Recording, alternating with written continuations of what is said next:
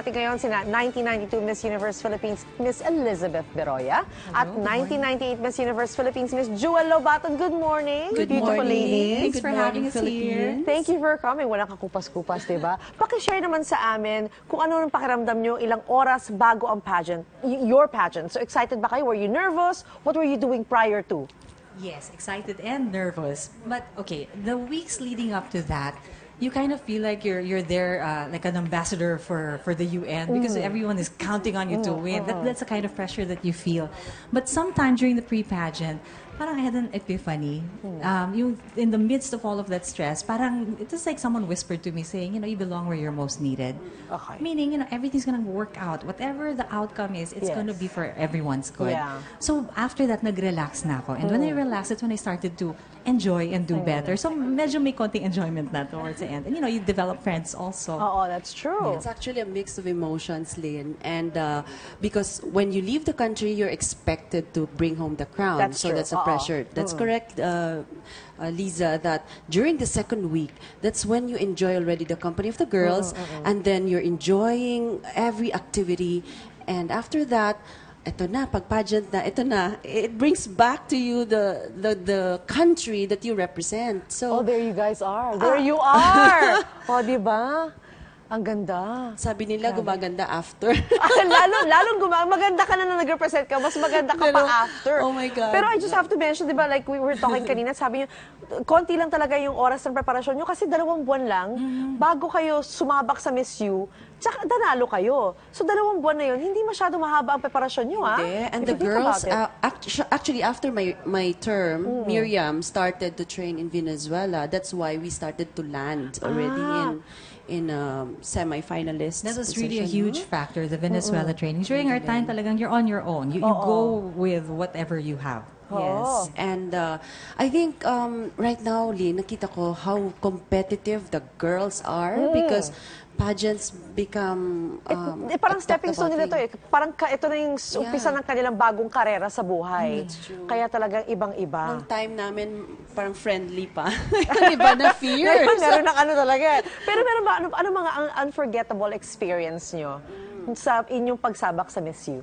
Well, in my case, I think ano, I really felt the support of my family that time because um, even um, on on their own, everyone went They to went to Bangkok. Thailand, Yes, no? yes, my Oo. whole family. Well, I just have one sister, so all three of them, my parents and my sister.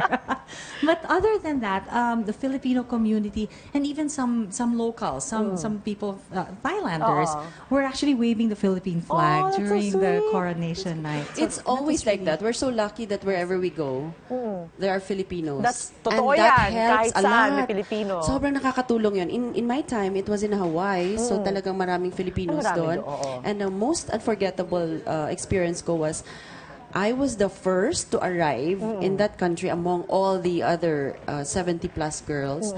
And um, nag-iikot ako doon, and then they were saying, You're Miss India. Do I look like an Indian? so, yan ang hindi ko makalimutan. And um, of course, it was my first time to also go out of my country. So, uh, everything beautiful. Ang nakakatuwa is that maraming Pilipino sa iba't ibang pati ng mundo at maiingay ang mga Pinoy. Kaya pag nag-cheer tayo, rinig-rinig ng mga nagko-compete. Kaya talaga it gives us more, kumbaga, di ba? yes. It's, it's a boost talaga. So, ngayong ah, today is the day, ano ang tips nyo para hindi kabahan sa question and answer portion ng ang ah, ating si Maxine? Well, I Meron man think- dapat, kailangan huminga, magdasal Bago muna. siya siguro lumabas, she has to think that um, she has to listen first to the question. Kasi usually mga girls, when you listen, you know how to answer. Okay. May opinion ka parate. Um, isipin lang ni Maxine na she is there not for everyone. She's there because she's going to express what she thinks about an Yes. issue. It's, still, it's still a personal, ano, It's di a personal. Answer. No, nobody can tell you mali yung sagot mo. You just express what you think about the So issue. your highest truth, you really share your Yes. highest truth. Actually, it's all about you. Yeah, and try not to be, try not to impress people by, by pretending to be something else or someone else. If you need an interpreter, then get one. get it doesn't one. make you a, a lesser candidate. Yan. Eto, eto na ang gusto kong malaman. Sino ang top three picks niyo? Eto na! Sige, let's start with Jewel. Jewel, sino top Very three mo? hard, but of course, Philippines, Maxine. Of I saw her in the preliminary. She did very Ang well. ganda. Um, Curacao. Why? Is She owns the stage when she walks. May presence May talaga presence siya. talaga. And uh, the third one is Thailand. Ah, She's also very famous in in that crowd. Ah. Nasa Philippines siya, pero she- she's being loved also. Baka bumabawi yung mga Pilipino sa tayo because nag-cheer sila for you, eh, Lisa. Payback. Tayo naman mag-cheer para sa kanya. How about you, Lisa? Okay. Um, well, first of all, just the fact that they joined Miss Universe, the, just the fact that they made it, just goes to show that they're already winners. Beautiful na talaga. beauty queen. but, no, but um, really, it, I, I think at this point, it's really just a matter of the taste of the Yes. And based on your taste, ang top Based three mo on my ay? taste, um, I would say Brazil. Mm-hmm. Um, uh, th- there are just some people who, when they step on stage, you know that they own the crown. Uh-huh. Um, like in the case of Charlene, for instance, when she Mm. joined Bini Bini, she walked on stage. The, the very first step she Step. took, she was already a winner. Um, next to her, well, Venezuela, because career. Kinakareer. Talaga nila. Aminin na natin. Yes, di ba? and Maxine, Maxine.